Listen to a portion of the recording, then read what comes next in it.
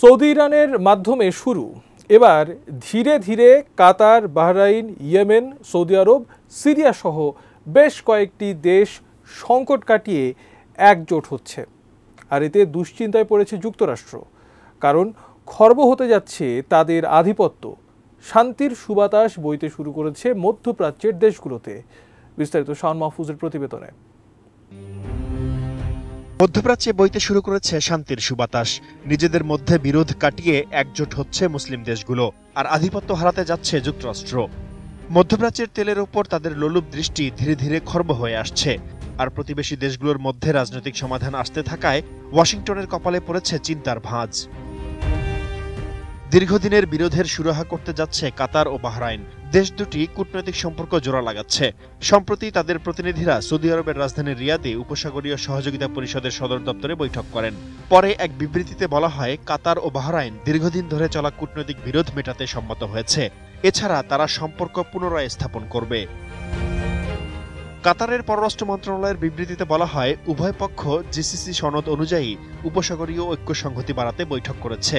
রিয়াদে অনুষ্ঠিত বৈঠকে অংশ নেন কাতারের পররাষ্ট্র মন্ত্রণালয়ের secretary general Ahmed bin Hassan al Ahmadi ও বাহরাইনের পররাষ্ট্র মন্ত্রণালয়ের রাজনীতি বিষয়ক under secretary Sheikh Abdullah bin Ahmed al Khalifa তারা মূলত দুই হাজার সতেরো সালের একটি বিবাদের সুরাহা নিয়ে আলোচনা করেন।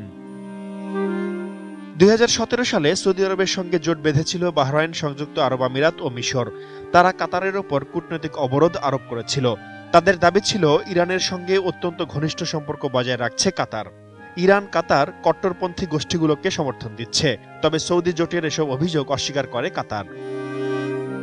গত জানুয়ারি মাসে বাহরাইনের যুবরাজ ও কাতারের আমিরের মধ্যে ফোনালাপ হয়। এ ফোনালাপে তারা দেশ দুটির মধ্যকার মতপার্থক্য নিয়ে আলোচনা করেন। এ ঘটনা উভয় দেশের মধ্যে সম্পর্কের বরফ গলার পূর্বাভাস দেয়। বিরোধের জেরে চারটি আরব দেশ নিজেদের আকাশ ও জলসীমা ব্যবহারের বিষয়ে কাতারের ওপর নিষেধাজ্ঞা দিয়েছিল। এমনকি তারা কাতারের সঙ্গে বাণিজ্য যোগাযোগও বিচ্ছিন্ন করে। দুই হাজার একুশ সালে কাতারের সঙ্গে সম্পর্ক জোড়া লাগায় সৌদি আরব, সংযুক্ত আরব আমিরাত ও মিশর। তবে সংযুক্ত আরব আমিরাত ও কাতার এখনও নিজ নিজ দূতাবাস খুলতে পারেনি। কাতার বাহরাইন বিরোধের মূলে রয়েছে তেহরানের সঙ্গে দোহার সম্পর্ক। এছাড়া দেশ দুটির মধ্যে সমুদ্র সীমা সংক্রান্ত সমস্যাও রয়েছে। কাতারের পররাষ্ট্র মন্ত্রণালয়ের এক বিবৃতিতে বলা হয়, জাতিসংঘের সনদ অনুযায়ী কূটনৈতিক সম্পর্ক পুনরস্থাপনের সিদ্ধান্ত নিয়েছে প্রতিবেশী দেশ দুটি।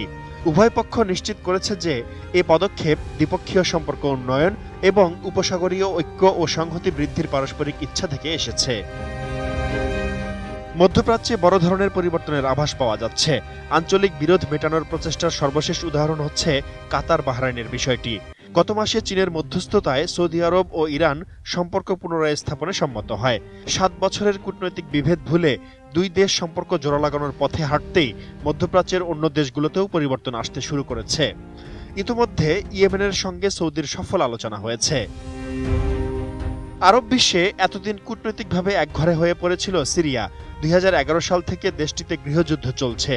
সৌদি আরবের পররাষ্ট্র মন্ত্রণালয়ের পক্ষ থেকে বলা হয়, দামেস্কের কূটনৈতিক বিচ্ছিন্নতা কাটিয়ে আবার আরব বিশ্বে ফেরাতে প্রয়োজনীয় পদক্ষেপ গ্রহণের জন্য আলোচনা শুরু হচ্ছে। একদল প্রতিনিধি সহ সিরিয়ার পররাষ্ট্রমন্ত্রী ফয়সাল মিগদাদ জেদ্দা সফর করেছেন। দ্বিপক্ষীয় সম্পর্ক, উন্নয়ন ও দুই দেশের উদ্বেগের বিষয়গুলো নিয়ে তারা কথা বলেন। আলোচনায় উল্লেখযোগ্য অগ্রগতি হয়েছে। Desk report, ATN news.